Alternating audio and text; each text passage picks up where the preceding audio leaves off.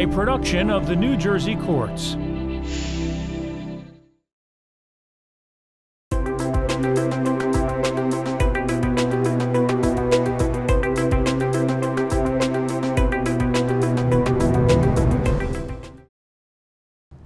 This begins an oral history interview with retired New Jersey Supreme Court Justice John E. Wallace Jr.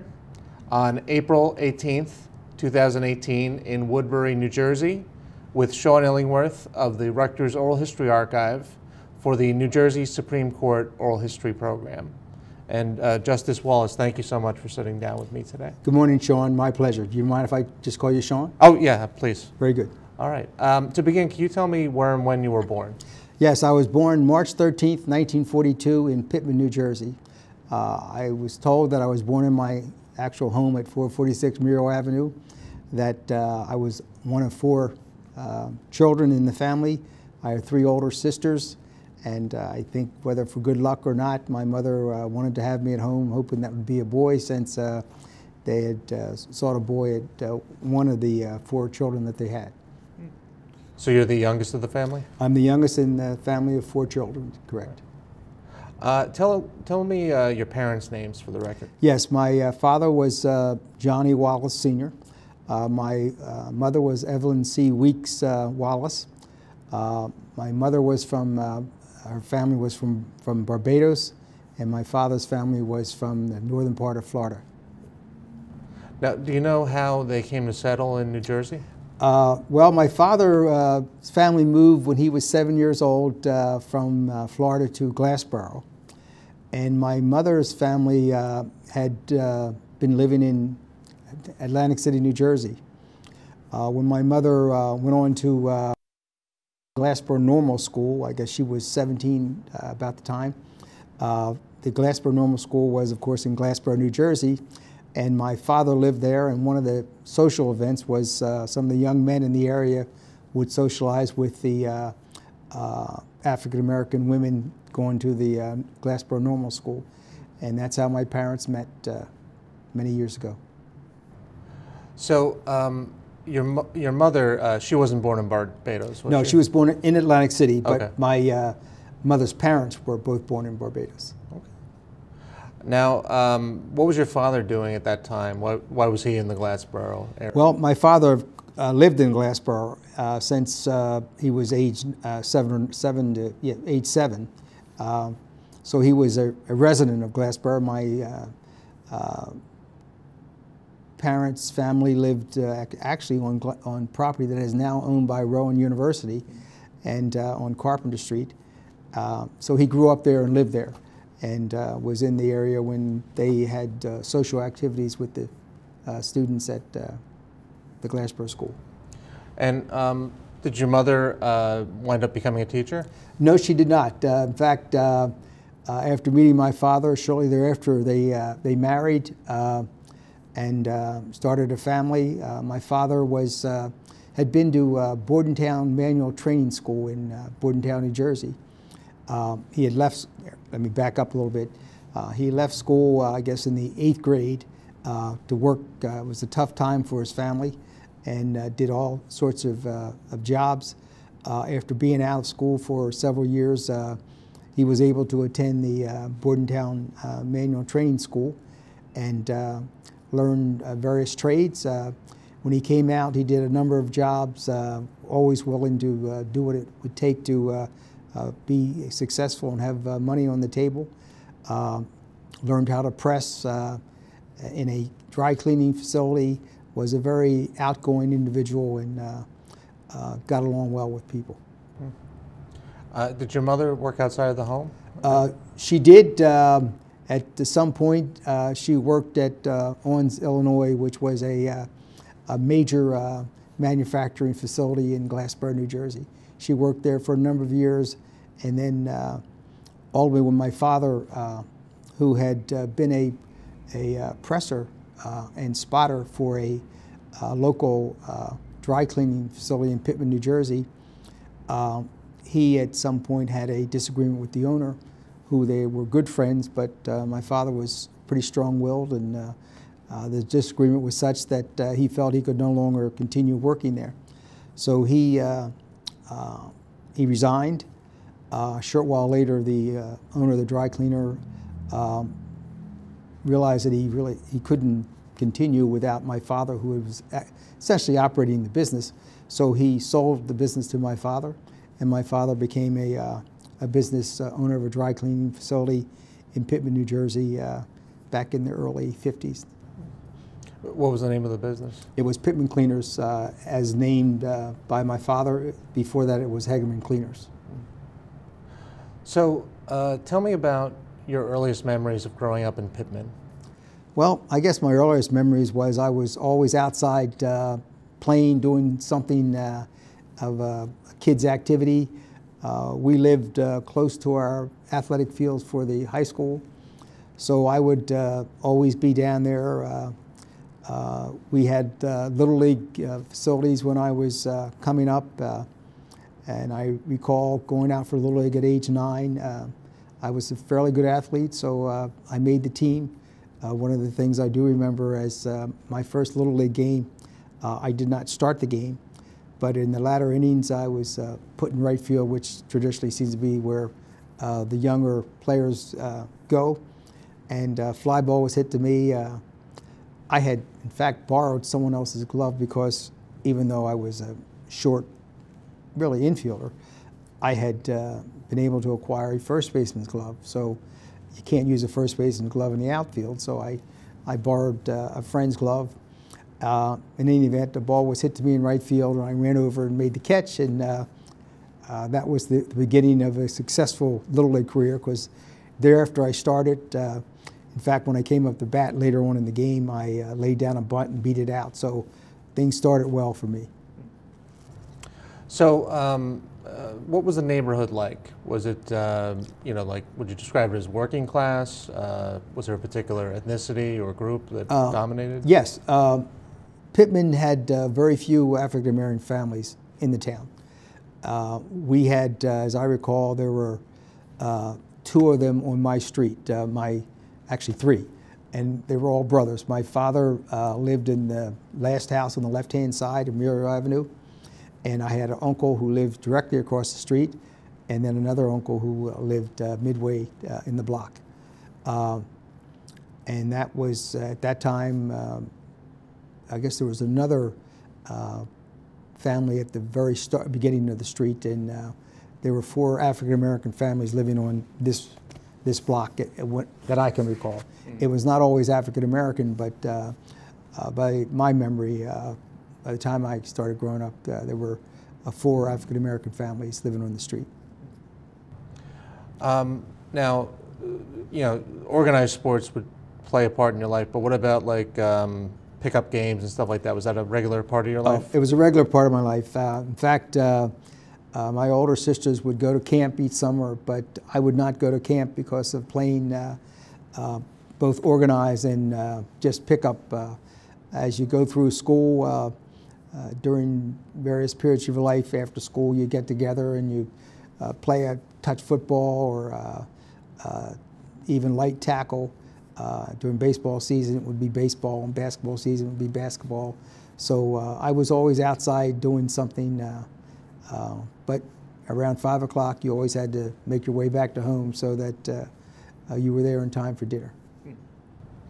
Um, you know, in your household, with one side coming from Barbados, the other from the South. Were there any traditions kept up, whether in cooking or lifestyle? Uh, not that I knew of. Uh, everything was just normal to me.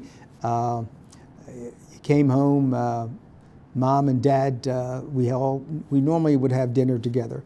Uh, but my father was a very industrious individual. After he had acquired the dry cleaning establishment, he then had an opportunity to become a partner in a, uh, a tap room facility in Glassboro, the next town over. Uh, and he did that for several years uh, with a partner and then uh, ultimately bought that partner out and rebuilt the, uh, another uh, establishment nearby. You said it was a tap room? Tap room, I'm sorry. Tap room, oh, okay, bar, sorry. a local bar tap room mm. facility in Glassboro, New Jersey. Did that service the uh, the college area or more of a local? No, it was more of a local area in the uh, what they call the lawn section of Glassboro, and it was, I think, the only African American facility, bar, entertainment type there in Glassboro at the time. I'm curious, this is jumping ahead a little bit, but you know, with your father owning these businesses, did he enlist you to come help out? Uh, well, uh, all the uh, family members participated in the dry cleaning facility. Uh, we would, uh, my sisters would wait at the counter for customers coming in uh, in the summertime and after school on, on some occasions. I generally, I guess I was in the eighth grade before I started I learned how to uh, uh, do everything in the cleaning plant from putting the clothes in the uh, uh solvent cleaner to uh, spotting uh, the clothes and then actually pressing the clothes. So I learned a lot over the years. when I became 17 years old, able to drive, my father was one of the, his cleaning plant was one of the few that had pickup and delivery. So they had two or three trucks uh, when a, a, driver would go on vacation during the summer, I would pick up and take that driver's route and uh, make pickup and delivery.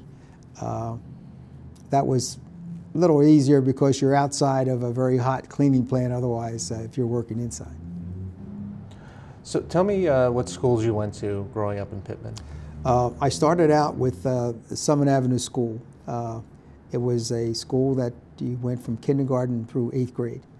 Um, it, uh, it no longer exists. Uh, they cleared it out about, uh, gee, 30 years ago. They just uh, uh, tore down the building. But it was a, a very interesting school. I was uh, the only African American in my class from kindergarten through high school. but it, it, was just, I, I, didn't recognize that, didn't realize that. I was just one of the kids in the class. and I always uh, did well from my, from my academic standpoint. I was fairly athletic, uh, uh, got along well with my classmates, and uh, did various activities with them after school. So there wasn't any isolation? No, none at all. Yeah. None at all. I was a leader in the class when we first started having elections for class president. I would uh, generally be elected the president, uh, so things went well. You described uh, your father's tap room as uh, an African American tap room, like so I yes. assume like a hangout. Was there that kind of separation in the area? Um, were there areas, to put it another way, places you wouldn't feel comfortable going? Uh, I personally did not feel that way. I'm sure others may have, and uh, this was a uh, a primarily uh, black bar everyone was welcome, but it was pretty much known that it was a African American uh, establishment that a lot of African Americans would attend and uh, have good times. So, growing up, uh, were there other uh, activities or institutions that were a part of your life, like uh, church or Boy Scouts? Yes, uh, in fact, both of them. as a youngster, I, I attended the First Baptist Church in Glassboro, New Jersey. my grandmother was very active in, in that church. Uh, both my parents were Episcopalian, but my uncle who lived across the street was Baptist, and he uh, regularly attended uh, church. So I would generally go to church with, with him, uh, and uh, it was a, a, very pleasant experience uh, growing up in the, in the Baptist church. they had a lot of activities for, for youngsters. You had a Christmas uh, recital, uh, Easter recital, where you would uh, have to say a little piece or as part of your uh, Sunday school program. Uh, and it was, it was a good atmosphere. I got to see and meet African Americans, whereas in Pitman, where I grew up, there were very few, so I did not interact with them the way I did with others on Sunday morning when I would go to Glassboro. Um, was the church uh, like a place where you would go to see speakers as well? Do you remember anybody coming through? Uh, no, I do not recall that. Okay. Uh, it was you'd have the minister uh, who delivered the ceremony, uh, and you'd go to church. Sunday school was like 10 to 11:30, and then church would start after that. So you, I would leave early and come home sometime after one. So uh, you mentioned Boy Scouts as well. Oh yes. I was a uh, first a Cub Scout, uh, and then graduated on to uh, Boy Scouts, uh, another uh, rewarding experience. Uh, but I, I had my first uh, sort of exposure to discrimination as a Boy Scout. Uh, our, our club uh, had uh, decided to do an overnight at uh, Ober's Lake in Glassboro, the next town over. And we went, and when I got there, they said that I could not stay because I was black. Uh, that was my first exposure, and that left a little bitter taste in my mouth for Boy Scouts since it, the two were related somewhat. Uh, I would have thought they would not have gone to a place that I could not attend, but uh, they, uh, and maybe they did not know. Of course, I'm a kid, so I'm not uh, aware of all the things that were going on. Uh, so that was my first exposure to discrimination, and I, I guess I was in eighth grade at the time. Now, um, what subjects interest you the most in school? I liked English a lot, history. Uh, they were the two. Uh, Spanish, Latin, I enjoyed.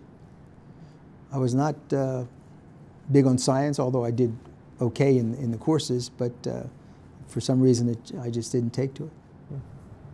Do any of your teachers stand out as mentors uh, or influential? Well, uh, I had a lot of good uh, influential teachers, and uh, especially my English teacher in high school. Uh, uh she made it clear it was very important to uh, uh, understand and learn the English language as well as the literature part, portion of it. she was wonderful. My history teacher was also my football coach, so I, I looked up to him a lot. a number of grade schools. I guess my first male teacher was I did not have until sixth grade. Mm and uh, Charles Wolf was his name, and he was an outstanding teacher, and I, I enjoyed having a male teacher for a change. So, um, playing for uh, school, did they have that uh, in junior high or, or, grade school, or did that only start in high school? Uh, the only program we had in junior high was seventh and eighth grade basketball. And that was my first exposure to organized uh, baseball. I should uh, take that back. They also had uh, Army and Navy football. It was, I guess, like the midget football programs today. Uh, but in Pitman, I think we only played two or three games a year. One of them would be uh, on mischief night and uh, some other time during the season. So you only played two or three games. And it was called Army Navy. One group was called Army, the other group was called Navy. you practiced on the same field, but you had different coaches. And then you would play your game, the few games. We were one of the few towns that had lights uh, at our football stadium, the high school football stadium. So it was a big thrill for us to, uh, us seventh and eighth graders, to go to the uh, stadium and uh, have a game uh, on those nights that we played. And when you got into high school, uh, was football your major sport, or were you well, equally devoted to all, all I was sports. I was equally devoted to football, uh, basketball, and baseball. Um, a short story on the football side: as a eighth grader, my uh, uh, football coach, who happened to be the guidance counselor at the high school, uh, suggested I play quarterback. So I started playing quarterback. Was pretty successful. Uh, so I continued on that when I went into high school. But high school was uh, football season started the first part of the year. Uh, then the midterm was basketball and uh, then baseball. I was fortunate enough that I was I had enough sufficient abilities that I played uh, junior varsity in my freshman year, and then after that I was playing varsity throughout the balance of my high school career in those three sports. So. Um, obviously there's a lot of games. I don't want to. Yes. yeah. yeah. But you know, did you have like a rival then? Uh, do any a, a town? Yeah. Yes. Uh, Glassboro, of course, was a rival. Jason Towns. Uh, we played them, uh, I just recall the football games. Uh, we were fortunate in that uh, during my tenure, we won the games. Clayton was also another rival. That was the next town uh, beyond Glassboro, and that would be our Thanksgiving game. And we won two out of the three during my, my years as playing varsity. Unfortunately, the third one we lost was my senior year, and uh, uh, while we knocked Clayton out of the championship my junior year, they won the championship the senior year by uh, beating us. And were these, uh, you know, big big uh, events for the town as well? Oh yes, uh, the thanks, Thanksgiving game was always a big game. You had a great turnout, uh, whether it was pit, played in Pitman or played in Clayton. Uh, people came. Uh, it was a big deal for people to. it was an early morning game too. It was the only 10 o'clock game we played for the year, and it would be an exciting time. And I was not a hunter, but some of our players did hunt, and this is near the hunting season, so some would actually go out hunting before the game and then come in and be prepared to play the football game.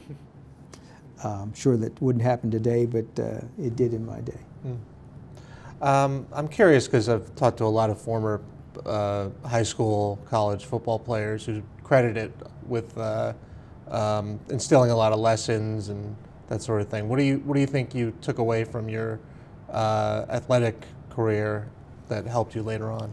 Well, I'm sure there are a lot more things I uh, would take away that I will tell you. Uh, only because I don't recall them all. Because it was a it was a great experience. Uh, you, are taught discipline. Uh, you're taught how to play with other people. You're taught that uh, uh, you're not always going to be successful, and that you have to regroup and then be prepared to play the next game and learn from your mistakes. try to do a better job and uh, don't criticize your teammates, but encourage them. Uh, all the things that motivate people to be better. Now, uh, what years were you in uh, Pitman High School? I attended Pitman High School from 1956 through 60. I graduated in 1960. Okay. Um, now, during this time that you were uh, being raised in uh, Pitman, um, were you aware of, of, the larger world? Did you follow the news, whether it was national or international news? Not to a great extent, but I was aware. I mean, my parents, uh, uh, we talked it within the family, and I was aware of uh, things that were going on uh, uh, outside of Pitman and outside of my life. Uh, I was aware of discrimination, the injustices that were imposed upon other individuals. I was taught to always be respectful and I recognize that not everybody was, and not everybody treated uh, uh, people fairly and evenly, but that uh, to the extent that uh, if something were to, if I were to be stopped, that I would make sure that I was uh, respectful to the person who stopped me as police officer or otherwise, and uh, to try to stay out of trouble to the extent that I could. What about um, the growing uh, civil rights movement? Was that discussed in your household, or? Oh yes, we uh, we talked about it. Uh, my mother, uh, I guess this was later on uh, when they had the march on Washington. She attended. It was I think near August 31st or thereabout uh, in 1963, and I was. at football practice at University of Delaware, so I, I couldn't could not go, but yes, I was I was aware. Uh, backtracking a little bit, uh, when I uh, after graduating from uh, uh, Pitman, uh, I was offered a, a, grant and aid scholarship at University of Delaware, and I accepted that and went on to to play football there. that was my first exposure to actual segregation the restaurants, some of them uh, did not, would not serve me. Uh, they discriminated and did not uh, permit African Americans to eat in certain establishments. Uh, the university was wonderful. They, there was nothing uh, on the university itself, but this is outside in the city of Newark.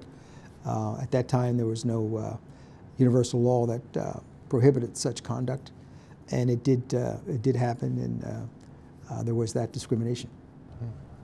Yeah, I wanted to ask um, uh, how you decided on uh, UDEL and, you know, did you look at other schools? Okay, I, I did. I looked at uh, several other schools. Uh, uh, when, when you have three sisters uh, and they all attended college, and so tuition was a factor, and I was offered some money from Bowling Green. I had applied to a couple other schools that I was admitted to and was all set to go to Bowling Green University, but uh, Delaware offered me more more money near the end of uh, the summer or end of the, the uh, spring area uh, when summer was starting. And uh, as a consequence, I accepted that. It was only an hour away, uh, close by. My parents could come see me participate in whatever activity activities I was involved in. And it's, it's a beautiful campus, so it seemed like a might make a good fit. I didn't know what the uh, student body makeup would be from a racial standpoint. Uh, but I was prepared uh, to uh, attend Delaware and see how it would work out. What were your uh, first few days and weeks on campus like? You know, adjusting to this new independence. And, well, you know, uh, college life is wonderful. You know, you get to know people from all over the eastern seaboard, as Delaware was and I was uh, in the Sharp dorm uh, where I was given a room. My roommate was also an African American, uh, Mike Brown. In fact, we roomed uh, for four years at uh, Delaware. He was also a football player. Uh, but I got to know good people from, I said, said white and black all over the state. Very few blacks, by the way, but only because there were less than uh, 10, I would say, in the whole university when I, when I was there. Um, and uh, it, was, uh, it was an exciting time only because I was doing something different, new, uh, learning. Uh, and one of my uh, first experiences, because shortly after I arrived, we started football practice. Mm-hmm. At that time, freshmen did not report earlier for, for football freshmen could not play varsity. Uh, you were limited in just playing freshman football. So the first day of practice, uh, I go out and you go through the drills, and uh, uh when I'm leaving, uh, someone said, uh, "Hi, Johnny," and I turn around. It's a, a, football player from Salem High School that I played three sports against, and it was nice having a friend at the university that I could relate to and talk to about issues that you don't always know about. So that was uh, a great experience uh, to start with, and everything just sort of uh, played out very well at the at the university from a football standpoint. Mm. Um, his name was Clint Ware. Clint unfortunately passed away uh, in his early 50s, I think, from uh, Lou Gehrig's type disease. But he was a football coach at uh, Woodstown High, School, one of the local schools uh, down here, and was an excellent individual.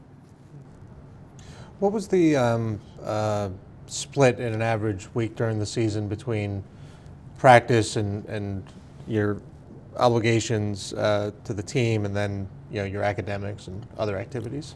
Well, um, I've always found that I did better better academically during football season than I did other times because my time was really structured. Uh, you had uh, numerous classes, and I, I carried a load, I guess, of 18 credits. Uh, so you'd go to school to 3 o'clock or so, walk up to the gym, uh, change for football practice, have football practice for a couple of hours, shower, come back, have dinner, and then you, you study from uh, 7 to 9 or 9.30. So I was pretty structured in what I did.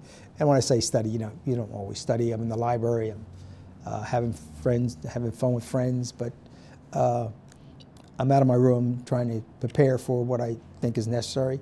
And I, uh, I would do that on a consistent basis.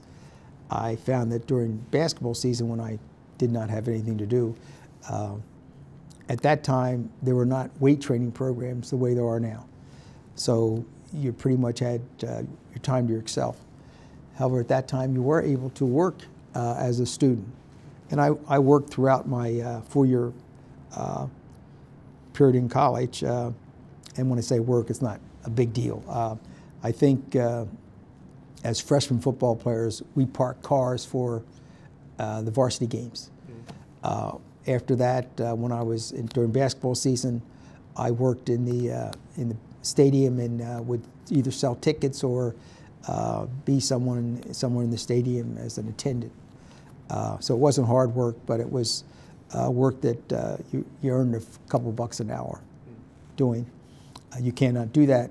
They've changed the rules since then, and uh, college athletes no longer able to have jobs and be paid by the institution. Uh, so it was a busy time, it was a good time. Uh, uh, it was uh, socially, um, I mean, I, I, came from a background that uh, uh, when I was in, going back to Pitman, I was friendly with everybody, boys, girls. I danced with the ladies. I had great friends with the, with the men. I was president of our student council my senior year. And one of the things we did, uh, I don't think it was because I was the president, but we had, uh, we were responsible for buying records for our uh, uh Friday night uh, dances. Mm. And we got so that uh, even at lunch hour, if we could find a teacher who was, had the time, kids would be able to dance in the gym during our lunch period. So we did some things that I thought were creative and fun as a, at, at high school. So I was a, a pretty good dancer as a result of, uh, I think, having three sisters and uh, not wanting to be left out. So I always, always participated. Uh, and then when we went to college, uh, I did pretty much the same thing. I would, uh, at some of the dances, although it was, uh, it got to be lonely in that, as I said, there were a few African American ladies and if I wanted to date someone, I normally went off campus.